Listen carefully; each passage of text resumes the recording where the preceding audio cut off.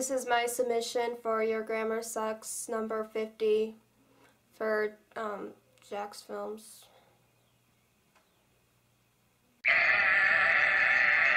Just landed in LA and the pilot made a joke about Botox, which I thought was tasteless and disrespectful and racist and made me cry. Jack, you made a list.